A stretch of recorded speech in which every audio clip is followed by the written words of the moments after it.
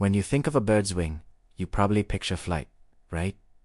Soaring through the sky, graceful and free. But what if I told you about a bird that traded the sky for a club? Meet the Xenicibis, a flightless ibis from Jamaica that turned its wings into brutal, swinging weapons thousands of years ago.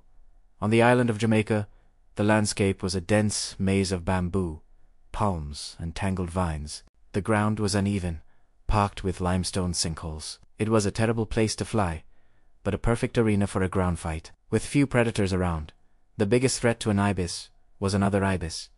So evolution got creative. The Xenicibis's wing bones thickened, curved and transformed into something resembling a nightstick. Fossil evidence shows these birds were definitely using them. Healed fractures and remodeled bones tell a story of an intense, close-quarters combat. While their long beaks were busy probing the mud for snails and insects, their wings were settling territorial disputes. Imagine these birds, with their long legs, navigating the tricky terrain. They'd nest in the shelter of a vine tangle, always listening. The rustle of leaves wasn't just the wind, it could be a rival making its approach. Their wings, though useless for flight, still had feathers, likely used for display. But their primary jobs was to be a powerful lever arm in a fight. They even used their environment to their advantage, roosting on limestone shelves overlooking water, and using the reflection to spot any approaching threats. The Xenicibis was a master of its island domain, perfectly adapted to its unique social and environmental pressures. Its club wing was a marvel of evolutionary engineering,